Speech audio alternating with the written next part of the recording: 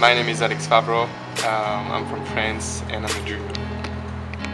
I want to break uh, the record of uh, the most uh, match won in the first uh, spot in the lineup.